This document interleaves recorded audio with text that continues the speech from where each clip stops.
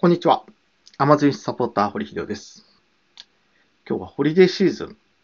オーストラリアにはホリデーシーズンというのがあります。まあ日本でいうところのね、クリスマス商戦なんですけど、これがオーストラリアめちゃくちゃ売れるということでね、ちょっとそれをご紹介したいと思います。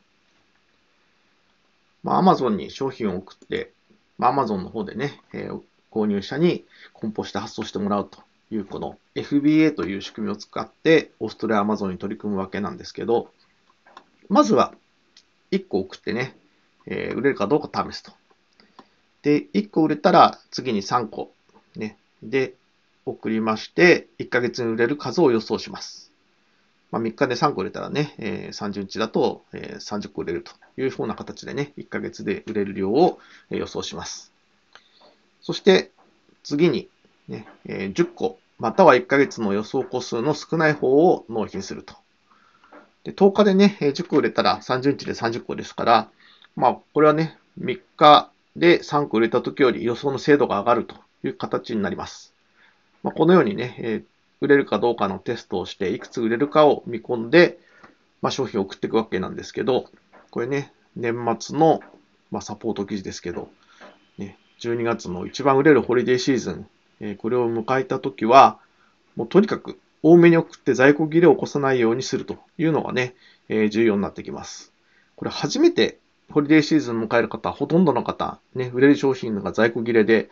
あ言われた通りもっと送っとけばよかったですというようなことを言いますけどね、えかなり売れる商品は売れます。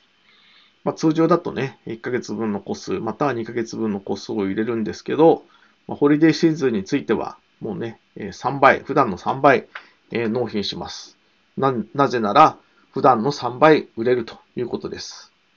例えば、仕入れ1000円、売上3000円で利益1000円の商品だと、まあホリデーシーズンね、え1ヶ月だけで66個、6万6000円の利益と。